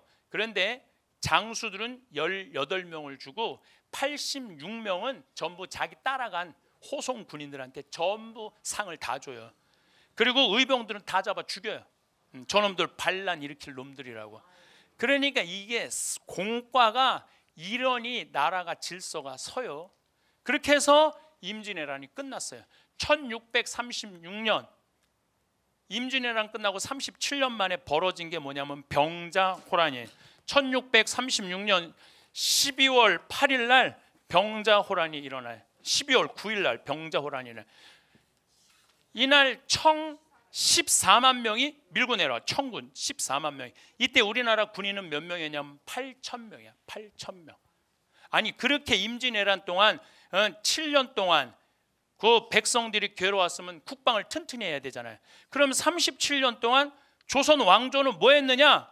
선조 광해군 인조 셋이서 뭐 했느냐면 네가 왕이 될 거냐 내가 왕이 될 거냐 싸운 거예요. 선조는 강해군은 후궁의 아들이야. 쉽게 말하면 본초의 아들이 아니야. 후궁의 아들인데 임진왜란 때 광해군이 의병들을 다 일으켰거든요. 그러니까 선조보다 누가 인기가 있었냐면 광해가 더 인기가 있었어요. 그러니까 광해가 미웠던 거야. 광해가 와서 전쟁 끝나고 문안 인사 오면 이놈 새끼 너 명나라에서 세자 책봉도 하는데 뭐하러 나하고 인사 왔느냐고. 자기보다 인기가 높으니까. 그런데 선조가 늙음하게 장가를 갔는데 애를 하나 낳네. 임목 대비가 영창 대군이라고 이거를 왕으로 만들고 싶은 거야. 그러니까 이걸 왕으로 만들 거냐 저걸 왕으로 만들 거냐 이런 거예요. 그래서 1608년에 근데 인 선조가 갑자기 죽어버려요. 죽으면서 어쩔 수 없이 광해가 왕이 될 것 같으니까 불러갖고 이렇게 말해요. 동생 영창을 죽이지 말아라. 네 애미 이 임목 대비는 스무 살이고 광해는 서른 살이었어요. 그러니까 얼마나 어린 저기 뭐야 부인을 얻은 거예요. 네 애미를 폐비시키지 말아라. 이랬거든요. 근데 선조 죽자마자 엄마 폐비 폐비시켜 임목 대비. 그리고 영창은 강화도로 보내 갖고 예, 문 걸어 잠그고 쪄서 죽여 쪄서 동생을. 그러니까 이게 폐 여기다 폐륜하다 그래서 반정이 일어나는 게 인조 반정이에요. 이때 이괄이라는 장수가 제일 먼저 앞장 하도 괄괄해 갖고 이름도 이괄이야. 예, 예. 제일 앞장서 갖고 어, 이, 이 광해를 내쫓아요. 근데 이 이괄이라는 장수는 자기가 형조판서 되길 원했어요. 근데 어디도 보냐 변방으로 내쫓아 버려. 평양 쪽으로.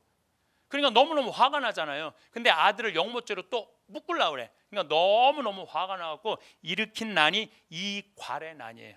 이때 이괄이 평양에 군인이 2만 명이 있었어요. 한양이 2만 명이 있었어. 4만 명이 서로 네가 왕이 될 거냐 내가 왕이 될 거냐 싸우다가 4만 명이 다 죽어요. 다 죽어요. 예. 그 다시 인조반정에 돌아 3일 동안은 이괄이 이 한양이 한양을 차지하고 이 광해는 어디로 도망가요? 이 저 밑으로 도망가거든요. 결국은 제주도로 가서 죽어요. 이 관, 이제 인조도 이제 도망가죠. 공주로 도망을 가요. 인조도 동주로 돌아와요. 4만 명이 다 죽어. 그러니까 군인을 키우질 않는 거야. 정책적으로. 왜냐하면 또 어떤 놈이 반란을 일으킬 줄 어떻게 알아? 내가 아까부터 말한 얘기가 무슨 얘기냐면 백성을 위한 나라가 아니라니까요. 누구를 위한 나라야? 왕을 위한 나라야. 그러면서 병자 호란이 일어났을 때 개성에서 평양에서 그 장수들이 이렇게 말합니다. 한 번이라도 진법 훈련을 하고 우리가 패했다면은 한이 맺히지 않을 텐데 진법 훈련을 못하게 한 거예요. 진법 훈련만 하면 저놈 영목 꾸밀라고 그런다. 한양 올라가고 뒤집으려고 진법 진법 훈련을 못하게 한 거예요. 그래갖고 인조는 결국은 5일 만에 한양에 도착을 해요. 철기병 14만 명이 철기병 들어봤죠? 최종 병기 활이라는 거 아시죠? 그게 그 얘기예요. 14만 명 5일 만에 와. 인조는 아, 할아버지 닮아서 시구문으로 남한산성으로 도망가요. 남한산성으로 버티고 버티다가 전부 다 경상도, 충청도, 전라도에서 또 노비들 오라 그랬는데 노비들이 안 와요. 왜 안 오냐면은 임진왜란 때 한번 속았잖아. 근데 누구 누가 왕을 위해서 죽겠어요? 왕이 도망 다니고 이런 왕을.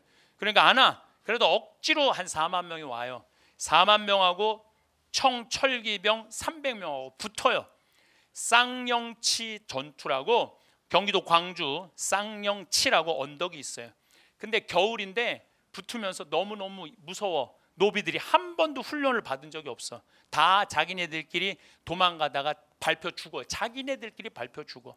그러니까 결국은 어쩔 수 없이 인조는 삼전도 지금 여의 저기 뭐야 롯데월드 있는데 있죠? 거기가 삼전도예요. 삼전도에 끌려 나와 남한산성에 가깝잖아요. 예, 삼전도에 끌려 삼괴 구고두라는 항복식을 해요. 한 번 절하고 세 번 이마 짓지는 거. 화정이라는 드라마 요즘 계속 해요. 끝났어요. 끝났어요? 거기에 항복하는 거 혹시 보신 적 있어요? 한 번에 그냥 이마에 막 피가 나오잖아요. 예, 그 정도는 아니었대요. 그냥 머리만 살짝 살짝 담으면 되는데 백성들이 아홉 번만 머리에 짓지면 되는데 백여덟 번을 짓졌다고 그러는 거야. 이건 백성들이 원하는 거야. 역사에서는 그런 내용이 없대요. 백성들이 원하는 거 머리통이 터져도 된다 너는. 그러니까 왕하고 백성의 관계가 깨진 거지. 왜? 왕이 누구를 무시해? 백성을 무시했기 때문에 그래요. 백성이 왕이 백성을 무시하면 백성은 왕을 지켜줄 생각이 없는 거예요. 이거 정말로 중요한 진리예요. 이번에도 국정교과서 국민들 68%가 반대한다 그러잖아. 그럼 생각을 해야 되는데 그냥 밀고 나가는 거예요. 별로 내가 보기에 달릴 바가 하나도 없다는 얘기예요. 그래갖고 병자호란이 끝났어. 이제 나라는 정말로 정말 점점 점점 어두운 데로 가는 거예요. 그런데 1894년 2월 10일 날 뭐가 일어나느냐면 동학 농민 전쟁이 일어나요. 전라도 고부라는 곳에서 군수가 갑질을 해야 되는 군수가 갑질. 군수가 무슨 갑질을 해야 되느냐면은 막 죽은 아버지 무슨 묘한다고 비석 세운다고 세금 뺏고 뭐 죽은 애들 세금 뺏고 세금을 얼마나 얼마나 갑질을 하면 군수 이름이 조병갑이야. 네. 네. 조병갑이야. 군수 이름이 조병갑이에요. 정봉준이 아버지가 관아에 가서 매 맞아 죽어요. 그때 전봉준이 들고 일어나요. 그래갖고 전주, 경상도, 충청도, 전라도 다 먹어요. 그래갖고 한 6개월 동안 통치를 해요. 동학 농민군이 실질적으로 통치를 하고 이제 어디만 밀고 올라가면 되냐면 한양만 밀고 올라가면 돼. 이제 고종만 뒤집어 엎으면 돼. 근데 고종은 이 동학 농민군하고 타협할 생각이 없었어요. 어디다 도움을 청하느냐면 청나라에 도움을 청해요. 나 좀 지켜줘라. 그러니까 청나라가 2,800명을 보내줘요. 이때 8천 명의 일본군들이 들어와. 일본 애들은요 항상 호시탐탐 우리를 노리고 있어요. 일본 애들은 항상 아주 대놓고 노리고 있어요. 지금도 대놓고 노리고 있는 거 아베가 지금도 대놓고 노리고 있는 거예요. 그래갖고 청일 전쟁이 일어나요. 청일 전쟁이 아산, 성안, 평택에서 일어나요. 왜 청일 전쟁을 아산, 성암, 평택에서 하냔 말이야. 청나라 도쿄에서 하든지 아, 청나라 심양에서 하든지 일본 도쿄에서 하지 왜 아산, 성안, 평택에서 하냐 이거야. 왜 우리 땅에서 청일 전쟁을 했느냐 하면은 조선을 최종적으로 누가 먹을 것이냐에 대한 결정 전쟁이에요. 그게 청일 전쟁이에요. 그런데 청나라 애들이요 다 패해요. 더욱이 일본 애들은 거의 기관총 수준의 총이 있었어. 기관총 수준의 총이. 근데 청나라 애들은 그런 총이 없었거든요. 2만 명을 보내는데 다 죽고 200명 도망가요. 200명. 그러니까 이제 누가 이제 우리 주권을 갖고 일본 애들이 먹으면 돼. 그래서 청나라 애들이 청일 전쟁 끝나고 난 다음에 일본 시모노세키라는 섬에 가갖고 맺은 조약이 시모노세키 조약이에요. 이 조약 내용이 뭐냐면은 조선은 독립국이다. 청나라가 선언을 해요. 그 전에는 조선은 청나라의 속국이었거든. 조선은 독립국이라는 얘기 뭐냐면은 일본 니네가 먹어도 우린 관여하지 않겠다 그 얘기예요. 그래서 조선은 독립국이라. 그래서 이제 막 먹으려고 그랬더니 러시아가 가만히 있어봐. 니네들 조선 먹으면 안 되지. 그래갖고 프랑스하고 독일을 끌어들여요. 그래서 못 먹게 이게 삼국 간섭이에요. 너무너무 열받잖아요. 다 먹은 건데 저 러시아 때문에 그런데 그 러시아에 가서 딱 붙어갖고 우리나라를 지킨 게 누구냐면 명성황후예요. 명성황후가 아 러시아가 힘이 세구나 가갖고 어, 우리 일본한테 지켜줘라 계속 그러니까 너무 너무 명성황후가 미웠던 거야. 그래서 1895년 10월 8일 날 여우사냥이라는 이름으로 명성황후를 죽여요. 경북궁에 들어가갖고 건천궁, 건천정이라고도 하죠. 건천궁에 들어가고 명성황후를 끄집어내요. 사, 세자가 살려달라는데 세자를 발로 차요. 병풍으로 날라가. 고종도 살려달라 그래. 고종도 밀쳐내버려요. 그리고 명성황후를 끄집어내 갖고 칼로 두 번 난도질하고 20명이 자객이 들어가서 돌아가면서 강간을 해요. 한 나라의 왕비를 돌아가면서 그래서 그중 자객 한 명이 이렇게 말합니다. 오늘 참으로 이 궁에서 가소 간호한 일이 벌어졌다. 간 참으로 웃기고 참으로 화나는 일이 벌어졌다 그래. 한 나라의 왕부를 그냥 죽이지. 돌아가면서 20명이 겁탈을 했다는 건 이건 치욕적인 거예요. 저는 명성황후라는 이 뮤지컬을 두 번을 보면서 정말로 속에서 풀이 났어요. 그러면은 우리나라는 왜 왕비 하나를 지켜주지 못했어요? 몇백 년 동안 무시를 당했기 때문에 왕족을 무시한 거예요. 백성이 죽으나 마나 관심이 없었어 백성들은 그렇게 역사는 흘러가는 거예요.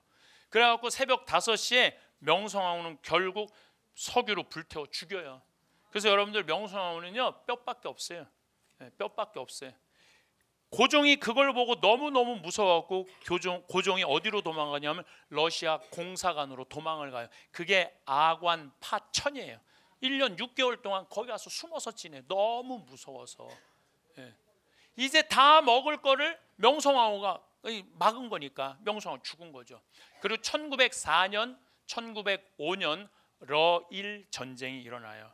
러일 전쟁은 만주 땅하고 우리나라 땅을 러시아가 먹을 거냐, 일본이 먹을 거냐 전쟁을 치르는데요. 이때 일본은 지금 엄청난 화력을 갖고 있었어요. 배, 함, 이 여산이라는 곳에 전쟁을 하는데 정말 러시아 애들 7만 명, 일본 애들 4만 명이 붙는데 러시아가 그야말로 박살이 나요. 다 도망가. 그래서 어쩔 수 없이 러시아가 뭐라고 하냐면 너희들 가져라. 이때 아주 중요한 얘기를 제가 하고 싶어요. 이때 미국이 사실은 우리 조약을 맺어갖고 우리를 보호해 주겠다고 그랬거든요. 근데 러일 전쟁 끝나고 난 다음에 미국이 일본한테 뭐라고 그러냐. 니네들 조선 먹는 거 눈 감아 줄게. 눈 감아 줄게. 니네 니네들은 미국은 누구를 눈 감아줘? 필리핀 먹는 거 눈 감아줘. 일본 니네는. 그래서 서로 조약을 맺어 갖고 1905년에 우리가 을사늑약으로 나라를 뺏기는 거예요. 그때나 지금이나 다를 게 뭐가 있어? 여러분들 지금 이 일본 애들 아베가 지금 이제 다른 나라 파견하겠다고 그랬죠? 그 지지해 주는 나라가 누구예요? 미국이에요. 미국. 예. 그리고 북한 진입하는 거 우리 진입할 수 있다. 아니 청일 전쟁이나 러일 전쟁 때 탈릴 게 뭐가 있어? 똑같아요. 다시 말해서 이 나라를 지킬 수 있는 건 누구밖에 없어? 우리밖에 없는 거야. 그러면 이 나라를 지킬 수 있는 우리밖에 없으면 누가 누구를 존중해 줘야 되냐면 정치인들이 백성을 존중해 주고 백성은 정치인들을 지켜줘야 돼. 그래야지 나라가 되는 거예요. 근데 지금도 무시하잖아. 1905년부터 1910년 사이에 그러면은 뭔가 일어나야 될 거 아니에요. 독립운동이 일어났는데 사실 여러분들 독립운동은요 1920년부터 일어나요. 1905년에서 10년 사이 종, 독립운동이 일어나질 않아요. 일어나긴 일어났지. 경기도 용인에서 이익삼이라는 의병장이 나라를 건지자 따라 나서라. 몇 명이 따라 나서냐면 15명이 따라 나서요. 나라 건진다고. 예. 그리고 이 전라도에서는 의병이 일어났는데 103명이 일어났는데 외놈들이 몇 명의 군인을 보내냐면 2천 명을 보내. 그래갖고 103명을 싹 쓸어 없애버려요. 그러니까 아예 이게 나라를 구할 생각이 전혀 없었어. 여기는 환경적 요인도 있어요. 환경적 요인이라는 건 뭐냐면은 1905년에서 1910년 사이에 한 번도 본 적이 없는 가뭄이 와요. 한 번도 본 적이 없는 가뭄. 가뭄이 오니까 백성들이 먹을 게 하나도 없으니까 무슨 왕이 죽고 왕비가 죽고 나라가 뺏기고 안 뺏기고 하나도 관심이 없었어요. 나 지금 먹고 살기도 힘들어 죽겠는데 뭘 한다 이거예요. 그럼 1905년에서부터 1910년 동안 500년 동안 이 나라를 마음껏 누리고 살았던 양반들은 뭐 했느냐? 양반들은 다 뭐 했느냐면 전부 다 땅 팔고 논 팔아 갖고 동경으로 다 유학 갔어요. 다 동경으로 유학 갔어요. 여러분들 일제 그 삼식 강점기 때 일본으로 유학 간 사람들이 평민이 갔어요? 노비가 갔어요? 누가 갔어요? 양반들이 갔어요. 500년 동안 모든 걸 누리고 살았던 양반들이 간 거야.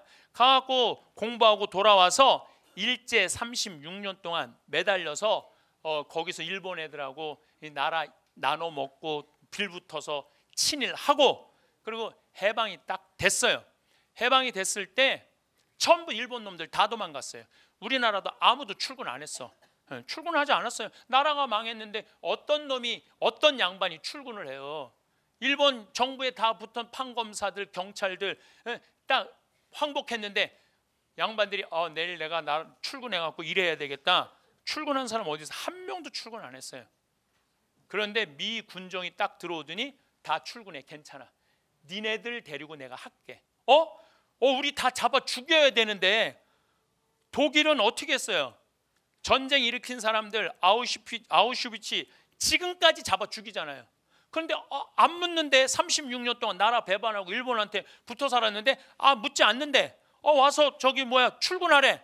거기서 출근해 갖고 다시 주저앉은 거야. 다시 말해서 500년 동안 조선을 이 백성들을 아주 착취하고 고통으로 몰아넣었던 사람들이 일제 36년도 그대로 다 누리고 살았다가 전쟁 끝나 이 독립하고도 그대로 누리고 사는 거야. 그리고 그 일제를 청산하지 못한 그게 지금까지 그대로 와 있는 거예요. 제가 왜 이런 얘기를 장황하게 하느냐 하면은 정치인들이 백성을 무서워해야 돼요. 정치인들이 백성을 무서워해야 돼. 내가 잘못한 게 있으면은 정치인들이 발을 붙이기 못하게 해야 돼. 근데 우리나라 정치인들은 백성을 무서워하지 않아요. 왜? 백성들이 눈 감아 주는 거예요. 눈가 하도 눌려고 살아갖고 까먹어. 그럴 수 있지. 그나물에 그 밥이 지금 하고 있는데도. 그러니까 확실하게 뭔가 해결할 문제는 해결하고 넘어가야 되는데 우리 이제는 노비가 어디 있어? 여러분들도 다 교육 배우고 여러분들도 다 생각이 있는 자유민주주의 국민들인데 우린 표현하지 않아요.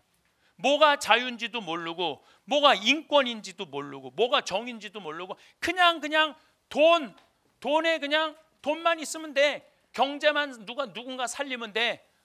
이명박 대통령이 여러분들 정권 하는 동안 백성을 위한 정치를 했어요. 대기업을 위한 정치를 했어요. 대기업을 위한 정치 다 깎아줬어요. 그래도 백성들이 저항 하나 안 하잖아요. 그러니까 백성을 우습게 보는 거예요. 그래서 저는 제가 많은 경우 이런 얘기를 해요. 일제 36년을 청산할 일이 아니에요. 조선 500년을 청산해야 돼요. 조선 500년을 청산하지 않으면 우리는 미래로 나가는 게 쉽지 않다는 거예요. 예수님이요. 가톨릭 문화 안에 보면은 예수님이요. 어, 가난하니 병드니 그 다음에 이, 이 나그네 감옥에 갇힌 이를 함부로 대하지 말라 그러잖아요. 그 예수님 문화 안에 꽉 차 있는 나라들은요 정말로 복지가 잘 돼 있어요. 그리고 왜 우리 가톨릭이 2000년 동안 유지해 왔어요? 가난한 이들 편에 서 왔기 때문에 2000년을 유지해 온 거예요. 1789년에 프랑스 혁명이 일어났을 때 프랑스 교회는 끝났어요. 프랑스 교회가 왜 끝났는 줄 알아요? 그때 귀족 편에 붙어서 갖고 가난한 이들 편에 쓰지 않았기 때문에 끝난 거예요. 그래갖고 지금 프랑스 신부들은 국가에서 월급 받아요. 국가에서 월급 받아요. 그리고 모든 재산은 다 어디로 귀속됐어? 프랑스로 다 귀속됐어요. 그 왜 그러냐면은 가난한 백성들과 함께하지 않았기 때문이야. 우리 교회도 똑같아요. 우리 교회도 지금 정의로운 일에 가난한 한 이들의 권리를 찾는 일에 우리가 무심하고 우리도 돈만 쫓아서 성당 건물 짓고 돈 모으는 일에만 혈안이 돼 있다면 우리도 똑같다는 거예요. 우리 가톨릭이 무시당하기 싫으면 어떻게 해야 돼? 정의로운 일에 가난한 일에 감옥에 갇힌 억울한 사람들의 편에 들어 서야 된다는 거예요. 그래서 사람을 무시하면은 그 문화는 없는 거예요. 사람을 무시하면은 그게 역사든 개인사든 사회 아니든 사람을 존중하는 문화를 우리가 꼭 이루어야 된다는 얘기입니다. 예, 이게 예수님이 말하는 복음이죠. 네. 사람 자체가 소중한 것입니다. 사람은 다 훌륭하고 다 귀한 것입니다. 조선 시대에는 왕이 백성을 무시하는 풍토가 있었다고 합니다. 왕이 백성을 무시하면 백성은 왕을 지켜주지 않습니다. 사람을 무시하면 그 문화는 없다고 합니다. 공감이 많이 되었습니다. 사람을 무시하는 문화는 버리고 존중해주는 문화가 되어야 한다고 생각했습니다. 오늘은 황신부님의 역사적 이야기를 듣고 또 배우게 되었습니다. 시청해 주셔서 감사합니다.